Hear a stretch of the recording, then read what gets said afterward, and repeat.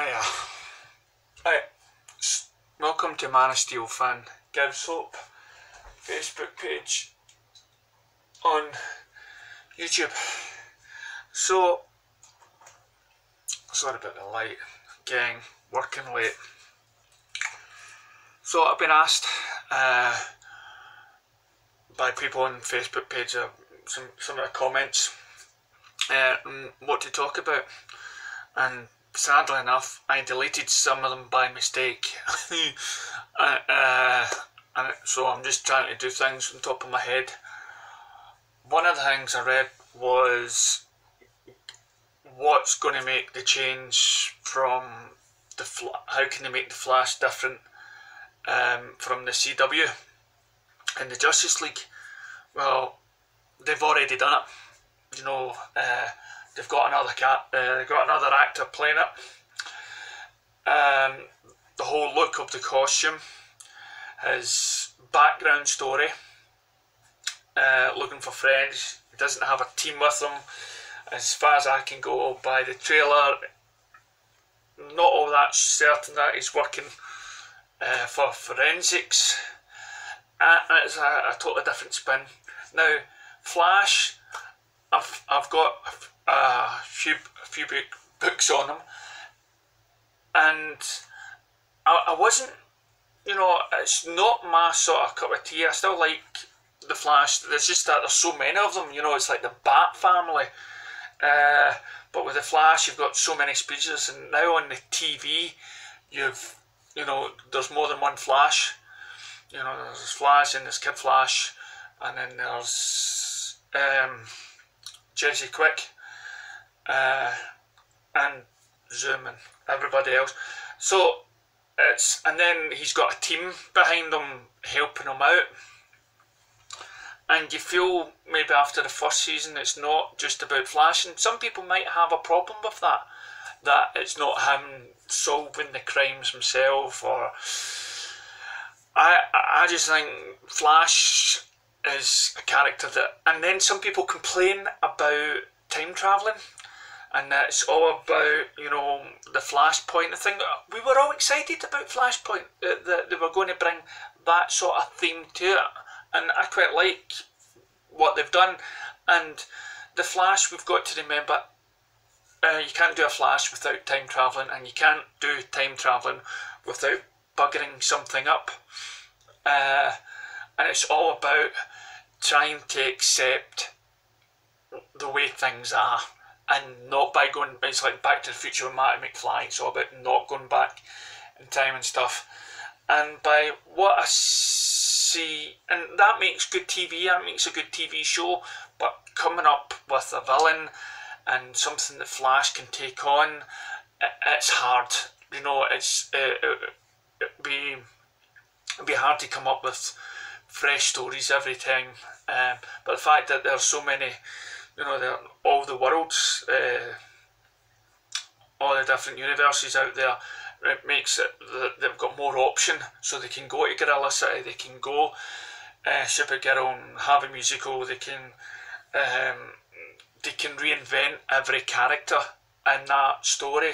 They can kill somebody off, go to another world, bring a character back, and then that actor can bring something new, and it it gives that actor uh, something fresh to work with instead of just playing the same character for so many years.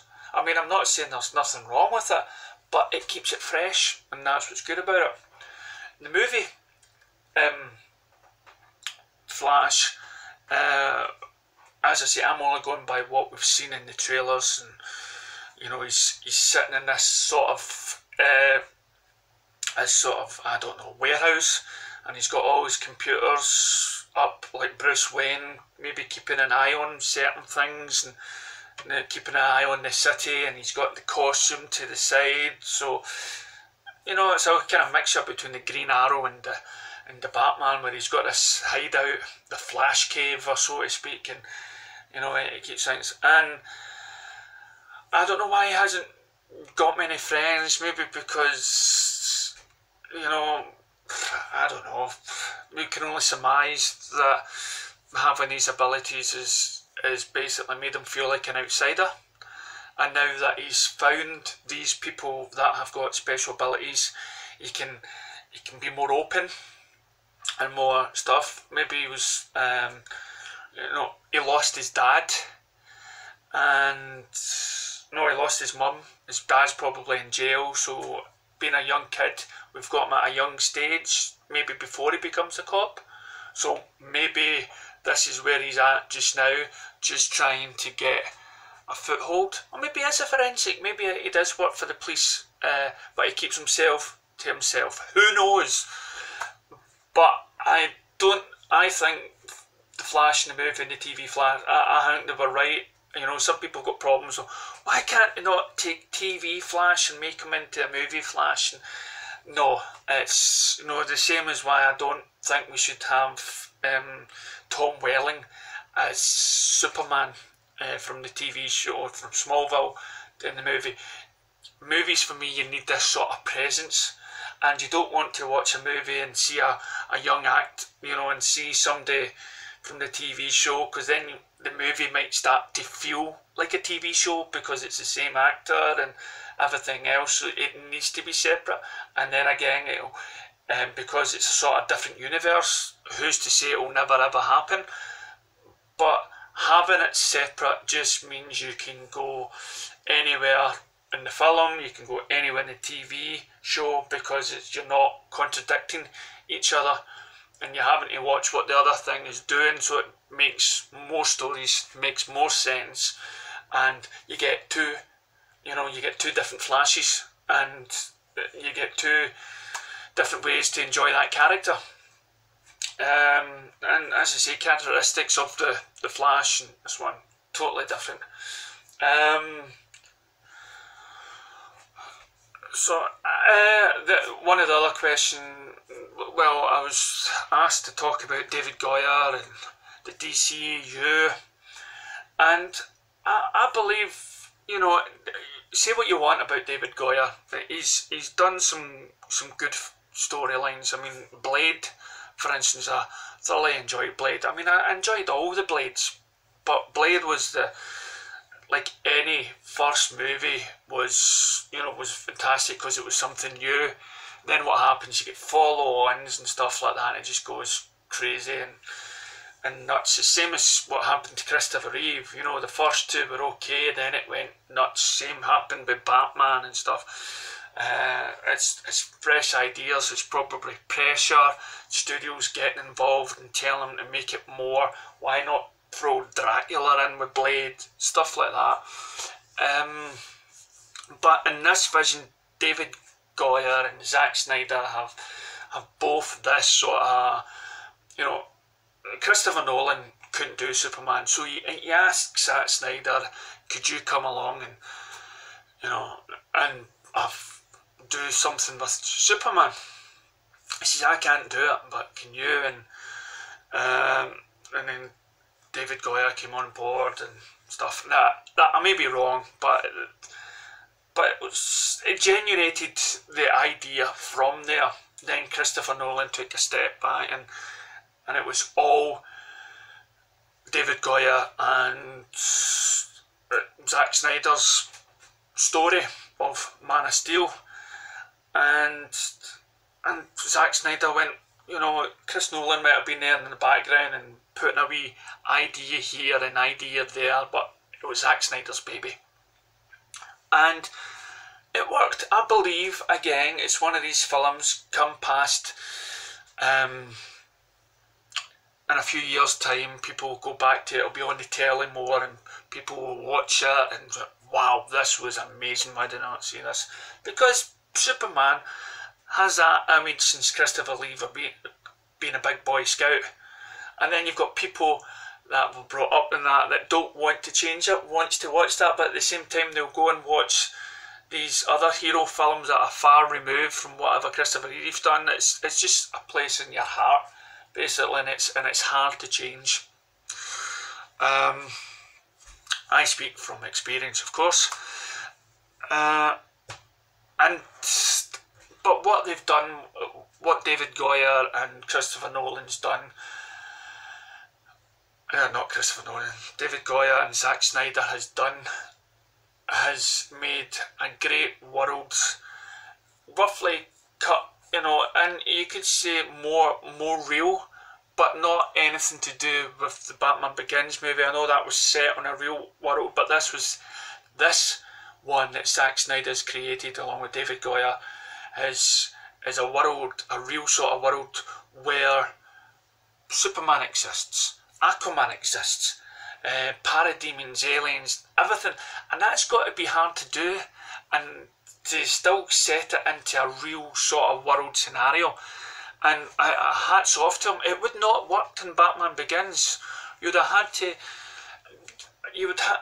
I can't even imagine imagine uh, you know putting Superman in the Christopher Nolan's movies. It just wouldn't sit right by his by the way Christopher Nolan makes his films with the cameras and everything else. I mean, it's down to the little details, but the way Zack Snyder with his cinematography uh, and the way he shoots things with the camera, even the shakiness of the Man of Steel,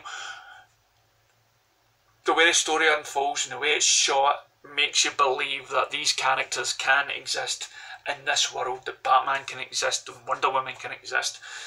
It's just the, the Christopher Nolan was just too sort of it was too Inception or whatever it is. It was just I just can't imagine it being there because it was sort of real and and, and that, that's just contributing to David Goyer's writing of the of the story and and the cinematography that two of them combined can make a world that's believable that these characters exist in. And then, as I say, then we go on to BVS, and then we bring in uh, Ben Affleck's Chris Terrio, who's won an Oscar, and they write this fantastic script and storyline based on. I mean, Zack Snyder, he was the one that came up with the idea of why not bring Batman in? And as soon as that idea hit the floor, that was it. So, and it was their idea that, you know, they shouldn't be friends. Both one's dark and one's night. Uh, one's dark and one's, one's dark and one's light.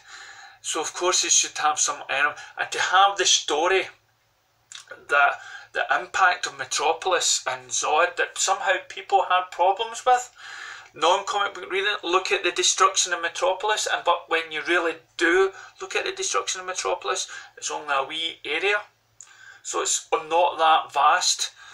Um, but anyway, but it's dealing with that, and what they've done with Man of Steel and BVS is they've set up the entire universe in one film. They set up the possibility, and you can complain if you want about it was just a wee video on a computer. But right from the word go, from Lex Luthor mentioning there are more metahumans out there, and there are wee bits of nods here and there before you actually seen Aquaman or Wonder Woman or The Flash.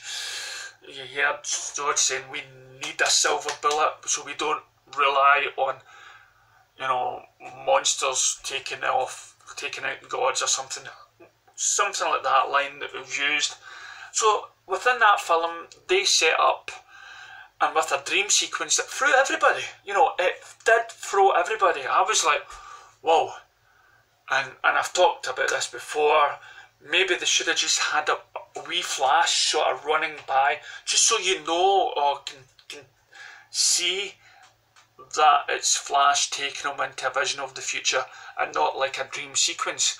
Because some people complained about there were too many dream sequences, but I stand forward that we needed a dream sequence because it's what's going on in their heads, and that's the one thing missing in comic book movies is the thought bubbles. We need the thought bubbles because it's all right, Superman coming down and and his facial expressions and saying things. Um, but we really need what, what what differs from a book to a movie is what they're thinking, and unless you're having somebody to narrate or having to get the actor to voice what he's thinking about, you know, it's so I thought doing it that you know so that's what the dream sequence was all about. The state of Bruce Wayne's mind. Uh, and you got that in Man of Steel as well when they went into um, Clark's and Zod's mind thing computer when he's standing in front of the skulls. It furthers on the story. It explains it in a nutshell. You know, and so these, and then we believe that Justice League will probably there's hints of what's to come that will explain the dream dream sequence. But again, it's one of these films that to have that in the film to throw people off, to get them to question and uh, what was that dream sequence about? Did we need that dream sequence? Did we need um, did we need the thing from Africa in it um, with the bullet and stuff like that? And for me, uh, again, yes, of course, I love every character being in the film. You know, I don't want to watch it. I love the fact we've seen Lois Lane in the trailer for Justice League, so we know she's in there, and I want her to have a kind of impact because she has an impact on Superman. But we also need to uncover what Lois Lane is like in a character. We can't just have her coming out like Jimmy Olsen in the original movies. We, we need her to be this intelligent and, and brave woman. So yes, we needed the Africa scene. So for these guys, David Goyer and, and Zack Snyder and Chris Terrio sitting down at a table and and and doing this trilogy from Man of Steel, BVS to Justice League. It is the sto- uh, that's all we need. We don't need uh, standalone movies. We don't need to follow a Marvel one. And I'll, I'll argue with anybody just because it's done that certain way doesn't mean. And no, they're not rushing the movies. I've said this umpteen times. For me, they're not rushing it. They are telling a story, and um, and instead of having Batman, um, a Batman story, then a Superman Superman story, then a Wonder Woman story, then Batman v Superman story, no, I would rather get the BVS first, get a general idea of what's going on, and then go to Justice League. You know, there is life is short, and uh, and if you can tell a, good story, which I believe that was, studio cut it. Damn you. And yeah, and now some of them, Zack Snyder's went on and with Suicide Squad and David Ayers went on to that and and they're working off of each other. You had Jeff Geoff Johns now, who's been put in charge. Well, he's given a higher role in it, and he's was at a Comic Con thing or whatever it is, WonderCon, and you know, and it sounded to me as though he's been given more control. And Warner Brothers has faced the facts that it doesn't need to be what they believe people want and very, very, very, very, very, very dark because of the Christopher Nolan stuff. Right, you could you could say Christopher Nolan, Nolan sort of ruined it because his films was widely liked, and they thought, well, that's what we want from now on. But it isn't. People change, and and because we've had people brainwashed by all these Marvel films, and this is the way we should only see our heroes and nice medals and fighting and uh, aeroplane car parks and stuff like that. That should, and we should have the lights on and the sun is beaming and it's a lovely, lovely day to, to have a fight. So, you know, it's. And then we have a character, Batman, who fights at night. So that is, you might look daft fighting during the day. Anyway, I'm drifting off the subject. So it's um, yeah. So Geoff Johns has come in. He's he's mentioned you know what he he wants to make sure that those heartwarming, heart heroics and whatever is is played out during all the films, right? And of course, clickbait got onto it and it says, "He said that from now on all these films must have this." No, he was just saying in general, all DC film, this is where DC works the best when they have this in it. He wasn't saying that BVS didn't have it in it. And I sort of put a paragraph in one of my last videos, one of the comments, because I was asking about that because I only heard about these comments. So anyway, so no, I think they're doing a, I think they're doing a fantastic job. I'm sure uh, David Goyer's working on the on the script for Green Lantern right now. Um, it's 2020 and stuff. And you know he can write good. A, a, lot, of writers can write great stuff, and then it just falls away. Uh, ben Affleck uh, done that. Uh, Live by Night didn't really get a good write but then again he he helped get Argo and the town up and running. So people, you know, it's it's very hard when you sit down and you watch a film that you make. And I, I used to make films when I was younger, and it's all right on script, but then when you start filming it, it doesn't pave the way, and and you could be biased because it's your own work and you think it's a masterpiece, and then it turns out it, it's not.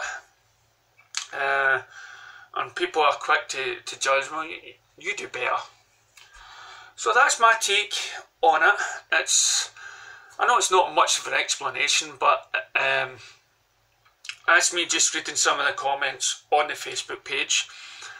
If you want to get a hold of me or, or comment more, please subscribe to the YouTube channel.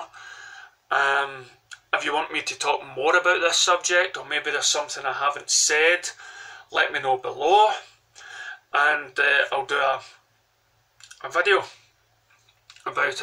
Uh, don't contact the page, the Facebook page.